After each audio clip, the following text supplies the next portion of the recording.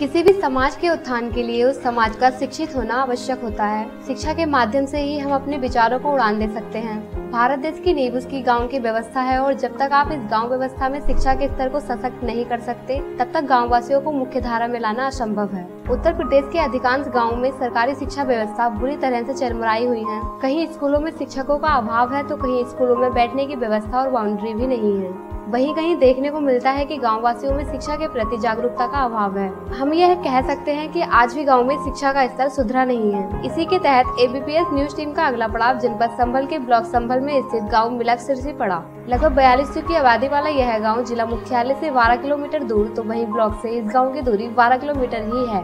वर्तमान में गाँव के प्रधान आले हसन है।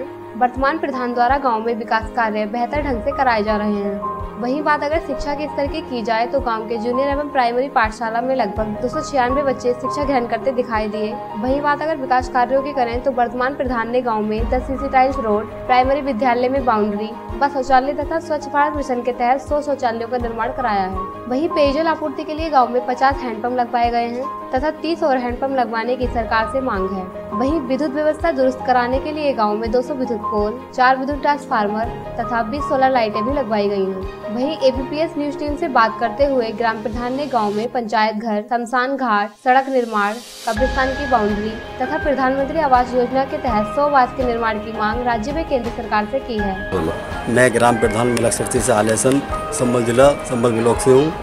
मेरे यहाँ पे कुछ समस्या हैं। जिससे कि मैं अपने माननीय मुख्यमंत्री जी और प्रधानमंत्री जी से, से अनुरोध करता हूँ कि जो मेरे यहाँ राज का चौदह वित्त का पैसा आता है उसका तो मैंने सी सी टाइल्स करा दिया और काफ़ी सी सी टाइल्स करा दिया। और जो ग्राम निधि सिक्स में पैसा आया था तेरासी शौचालयों का जिसमें कि सोलह इंदिरा आवास के पैसे थे और बाकी जो पैसे थे वो भी उसके थे। वो मैंने उनके शौचालय बनवा दिए। अब सबसे ज़्यादा समस्या मेरे यहाँ ये है जो प्रधानमंत्री आवास बनने थे जो 2011 की जनगणना हुई थी उसमें मेरे यहाँ गाँव छूट गया है। उसमें तेरह नाम थे तेरह नामों में से मेरे यहाँ का एक भी नाम नहीं था। जो। तो उसमें तेरह नाम दिए गए थे। जिनकी सनौब सही नहीं थी और नाम भी सही नहीं थे। लिहाजा मेरे मुख्यमंत्री जी से अनुरोध है कि मेरे यहाँ को ज़्यादा से ज़्यादा प्रधानमंत्री आवास दिलाए जाए और गरीब लोग हैं मेरे यहाँ। मेरा बहुत गाँव गरीब है और मेरे यहाँ की एक समस्या और है कि मेरे यहाँ की जो ग्राम समाज की ज़मीन है वो सिरसी में दबंग लोगों ने घेर रखी है। उस ज़मीन का हमारी ग्राम पंचायत के तई शासन आदेश होवे कि ताकि हमारी मिलक सिरसी के जो ग्राम समाज के बासिंदे हैं वो उस पर अपना जैसे कि उपले हैं खेल का मैदान है या किसी तरह की कोई समस्या है वो उस पर अपना कुछ कर सकें। और मेरे यहाँ पे एक समस्या और है कि मेरे यहाँ पे जो पंचायत भवन है और बारात भवन है शमशान घाट हैं और शमशान उसकी कब्रस्तानों की चार दीवारी होनी है उसके टाइम भी पैसा मुझे ग्राम ग्राम निधि में दिया जाए। वही ग्रामीणों का कहना है कि वर्तमान ग्राम प्रधान द्वारा गाँव में बहुत से विकास कार्य कराए गए हैं लेकिन राज्य सरकार से मिलने वाली धनराशि की किस्त समय पर न मिलने के कारण गाँव विकास कार्य धीमी गति से चल रहा है। मैं बोबी खान मिलक शिरसी जिला संबल। ये हमारे यहाँ पे कुछ समय पहले अस्पताल बनाया गया था। जी। जिसका के मतलब कुछ दबंगों ने रास्ता दबा रखा है इसका। जी।